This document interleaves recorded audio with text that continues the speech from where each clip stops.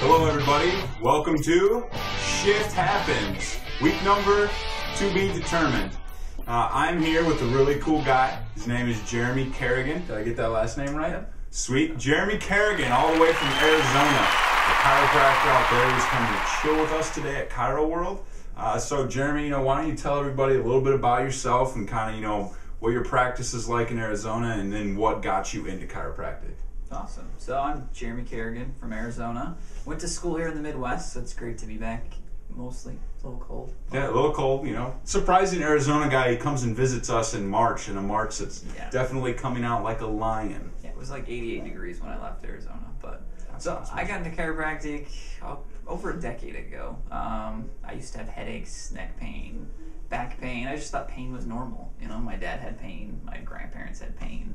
Everyone thought that that's the way life was supposed to be, but met a chiropractor and suddenly it was different. She worked on me for a couple of weeks and I used to have headaches every single day of my life. Um, and after I worked with her, I went three months without a single headache once, and it just kind of turned my lights on. I could then stand up better, I had more confidence, and I just thought this chiropractic thing's pretty cool. So mm-hmm. a few years later, decided you know I want to do something with my life that's going to help people make an impact, and chiropractic had done that for me, and I wanted to do it for other people. So Absolutely, kind of paying it forward. yeah, And you know, it's funny. You bring, you know, when, whenever we ask people, "How did you get into chiropractic?" and mine was kind of the similar thing.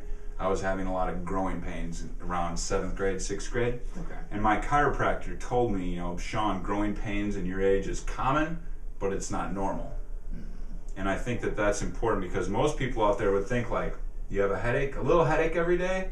Oh, Yeah. that's just normal. yeah. No, it's not normal. That's Yeah. what I tell people all the time. I'm like, it's normal and abnormal. It's normal because your body's trying to deal with something, but it's mm-hmm. abnormal because it shouldn't have to be dealing with that. And it's trying to deal with your, you know, subluxation. Your spine's out of balance and it's stressed, and your body's dealing with it the best it can, which is usually pain. You know, it's saying, hey, something's wrong here. So we should probably listen to it then, right? Absolutely, Like maybe not continue to hit it. absolutely, yeah. it's like the fire alarm. You know, it goes off. You don't just pull the batteries out and you know run away. You know, No. just take Advil or you know stretch or you know rub them. So the so the Advil and the stretching, that's kind of like pulling the battery out. Yeah, you're just you're just telling the body, okay, stop yelling at me. I would want the battery in. That way, when I if there is a problem and the alarm goes off, I can pick up the kids. You know, I can maybe grab some food because it might be a while for the fire department to do its thing. yeah, but you want to be warned, you know, and we, You we train be our warned. bodies to to do that instead of being numb to everything else. And chiropractic does that. Takes the pressure off, lets things function right. So when something's really wrong, then our body can tell us. And when you're functioning right, you are a much more happy camper. Absolutely. So, um, and and you you know, uh, where are you from originally in the Midwest? I grew up in Arizona. Okay. and raised, everything. So chiropractic school is in the Midwest. Yeah, came to Palmer College. Very cool. Midwest. And so, uh, you know, you've been hanging out with for a few hours here. He's been here most of the morning at Chiro World. What are some of the things that you've learned so far? I just love how simple it is. You know, it's not complicated. Chiropractic's not this huge, complicated mess. It's your body's out of balance, it's subluxated, that's stressing the nervous system and not letting you live the full life that you're expected to live. Really, nothing more complicated than that. Absolutely, and it it still befuddles me that there are some in this profession that try to make it so complicated, and it is so simple. And people love simple; they're looking for simple.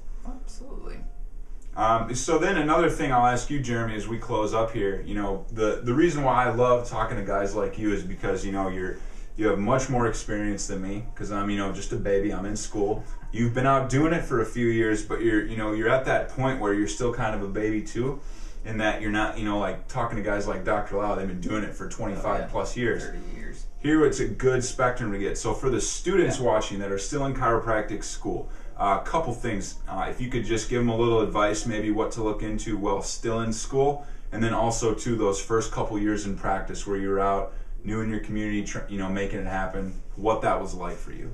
Yeah, well, in school, my goal was to visit as many offices as I could. You know, getting in, seeing how people do it, just you know, live on the on the ground, basically. You know, in school they teach you the textbook stuff, but until you see it actually in action, it really doesn't. I, I wanted to visit at least 25, and I think I exceeded that in school. Good. And that's where you see that. You see the day to day communication, you see how simple they can make it. And then getting out into practice, I, I always.